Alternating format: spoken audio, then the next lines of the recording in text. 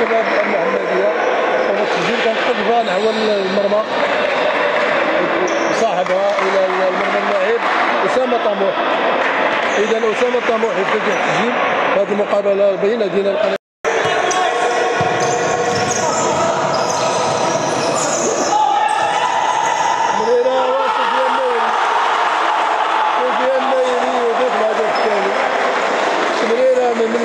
من اللاعب المليح. صاحبها سفيان نايري إلى الهدف وعلينا الهدف الثاني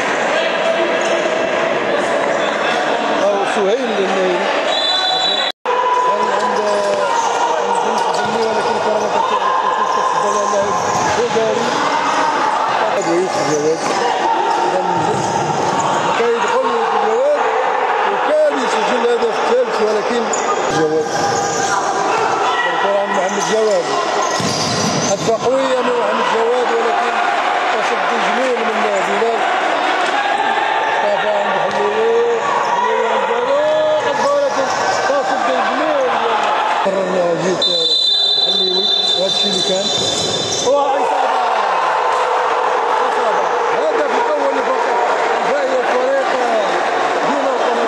كانت عملية جميلة كنت ولكن عملية توصل عند دار يعني محمد جواد يقدر مباشرة لمرمى تحول إلى حمله مضاده ولكن سرعان ما كتسقطوا اللاعبين. ديال الشيخ الحماديه وفي محاولتين ديال شاد محمد يستغل الخصم خاصة الاصيل والهدف للتعادل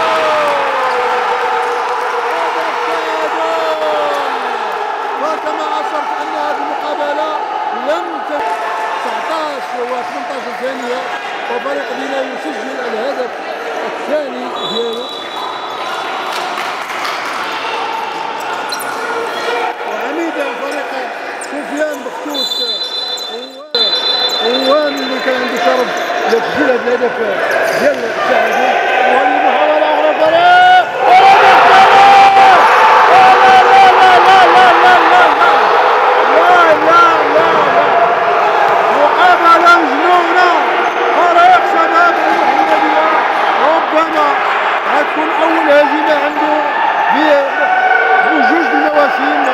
هذه بداية غير موفقة ولكن بقى 34 ثانية واش غادي يهلك الفريق؟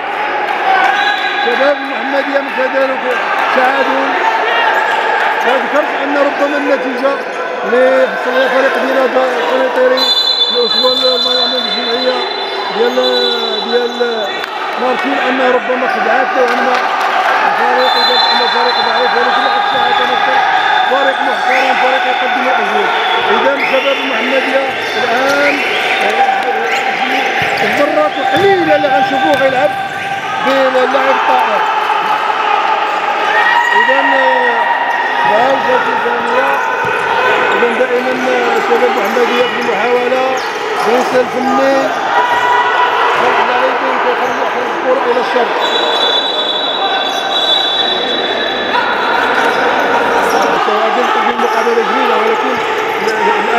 امام فريق مكون قدم مستوى وباقي جوج ديال الكواني جوج ديال الكواني على نهاية المقابلة.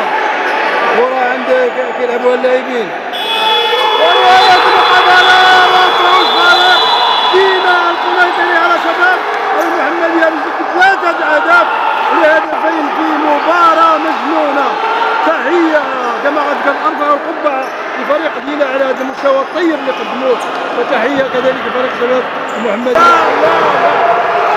مقابله مجنونه فريق شباب المحمديه ربما غتكون أول هزيمة عنده.